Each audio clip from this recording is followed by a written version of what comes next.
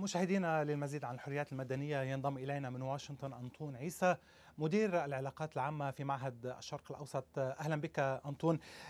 بداية يعني كلمة الردة كانت القاص المشترك الذي جمع بين آراء العديد من نخب المجتمع المدني وتقارير منظمات دولية لحقوق الإنسان فيما يتصل بأوضاع الحريات المدنية في البلدان العربية. أنت أنطون كيف تقيم الوضع؟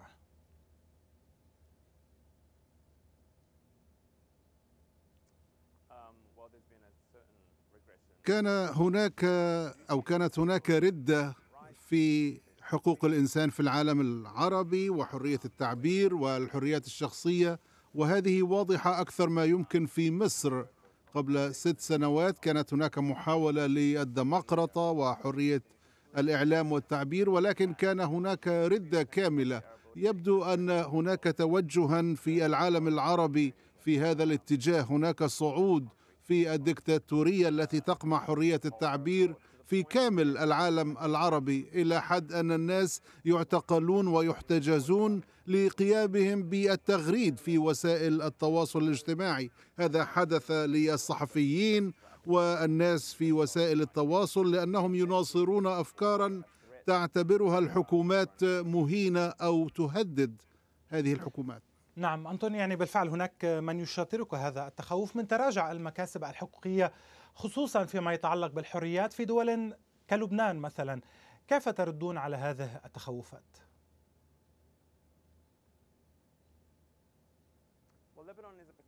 لبنان هو حالة معينة فهو معروف دائما على أنه استثناء للعالم العربي هناك نوع من حرية التعبير والإعلام إلى حد ما. ولكن حتى في لبنان نحن نرى رده وتراجع لم نراها منذ فترة. في الأشهر الأخيرة رأينا صحفيين آه، يتهمون بإهانة الرئيس. هذه علامة من علامات الدكتاتوريات وليس دولة تدعي أنها ديمقراطية.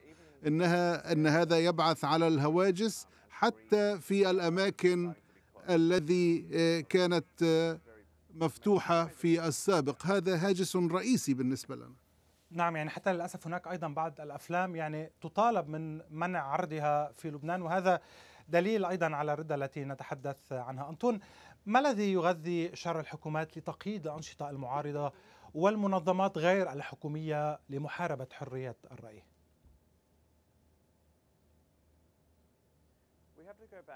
علينا أن نعود إلى الحافز الرئيسي لكل الحكومات العربية وهو أنها أن حافزها الرئيسي هو الحفاظ على السلطة.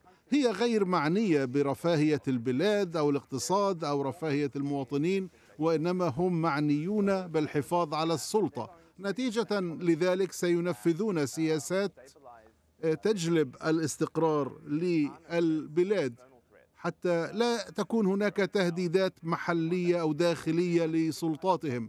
أي شخص ينتقد الحكومة أو يعبر عن وجهة نظر مختلفة لا تتفق مع تفكير الحكومة. عندها نرى قمعا لحرية التعبير لأن الحكومات معنية بالحفاظ على السلطة. عندما تكون هناك احتجاجات وانتفاضات تهدد كل هذه الأنظمة نرى آه، محاولات لوقف هذه المحاولات ويتم اعتقال الناشطين ولا تكون هناك حرية حرية إعلامية. وهذا انتشر في كل الدول العربية. نعم. هذا مثل صعود الدكتاتورية بعد الربيع العربي. هذا ما نراه حاليا في كل العالم العربي. نعم.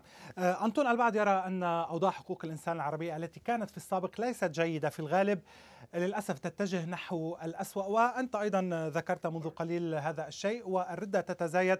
وأيضا ذكرت الربيع العربي. يعني لماذا يعني بعد كل هذه الثورات لماذا لم نرى اليوم بالفعل هناك حرية حقية في التعبير في الدول العربية أقله الذي شهدت الربيع العربي؟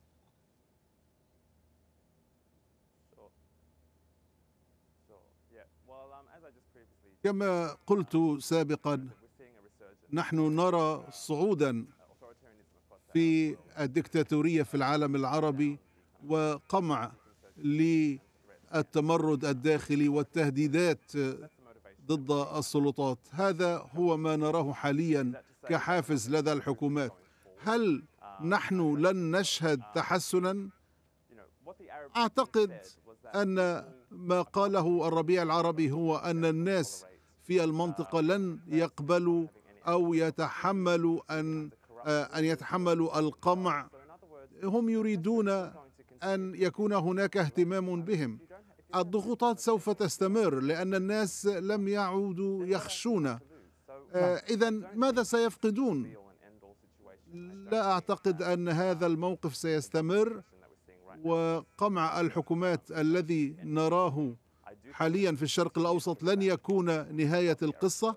الناس في العالم العربي سوف يطالبون بالمزيد من الحريات وبمعنى آخر ستكون هناك توترات في المستقبل. أنتم برأيك ما المطلوب اليوم لتتحول الأجهزة الأمنية والعدلية من خدمة الحاكم إلى خدمة المواطن؟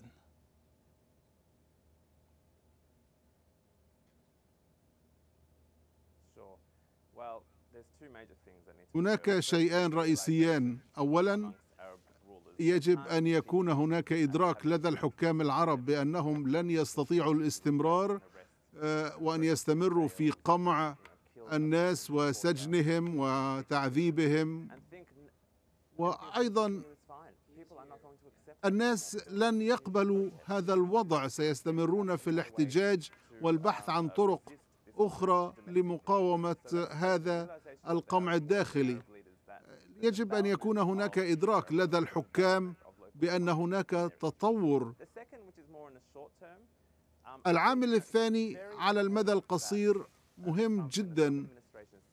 عندما قالت إدارة ترامب أنها لا تريد أن تناصر الديمقراطية وحقوق الإنسان في العالم هذا أرسل رسالة إلى الحلفاء وإلى الكل في الشرق الأوسط أن بإمكانهم الإفلات آه، من تداعيات قمع شعوبهم وتنفيذ أو عدم تنفيذ إصلاحات سياسية وديمقراطه يستطيعون الإفلات من كل هذا. على الولايات المتحدة أن ترسل رسالة وأن تضغط على حلفائها وعلى الكل في المنطقة. آه، يجب أن آه، تقول عليكم أن تدخلوا مرحلة الديمقراطية. ولكن نعم. نحن لا نحصل على هذه الرسالة من واشنطن. نعم ربما يعني هنا دوركم أنطون مثلا أنتم كمعهد في الشرق الأوسط هنا في الولايات المتحدة الأمريكية يعني كيف يمكن أن تكونون همزة وصل بين الولايات المتحدة الأمريكية والشرق الأوسط العالم العربي بشكل عام؟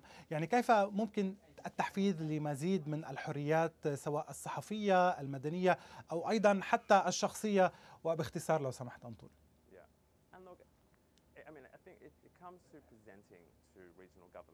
يجب أن يكون هناك تعريف للحكومات بأن من مصلحتهم الإقدام على عمليات الإصلاح.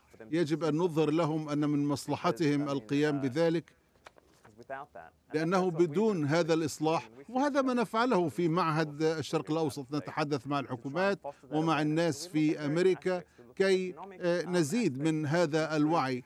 أيضا هناك العوامل الاقتصادية. لو قمت بتحسينها وأدخلت الإصلاح وأيضا إصلاح في المجال الأمني. ربما نعم، لن نرى الكثير من الإرهاب أو الاتجاه للتشدد.